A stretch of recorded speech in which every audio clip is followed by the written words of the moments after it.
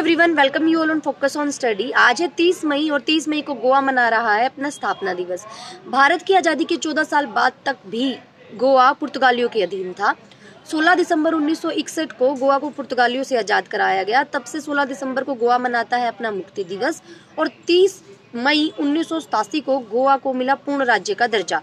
गोवा की राजधानी है पणजी। गोवा का क्षेत्रफल है 3,702 वर्ग किलोमीटर। ये भारत का सबसे छोटा राज्य है। गोवा के सीएम है प्रमोद सावंत और गोवा के गवर्नर है पी एस श्रीधरन पिल्लई। गोवा के अंदर दो ज़िले हैं, सबसे बड़ा शहर है वास्को डिगामा गोवा एक सदनीय राज्य है, विधानसभा की सीटें हैं चालीस, लोकसभा की दो और राज्यसभा की एक सीट है। आज के लिए बस इतना ही। अगर आपको वीडियो अच्छी लगे तो वीडियो को लाइक करें, चैनल को सब्सक्राइब करें, शेयर करें। मिलते हैं नेक्स्ट वीडियो में। Thank you so much.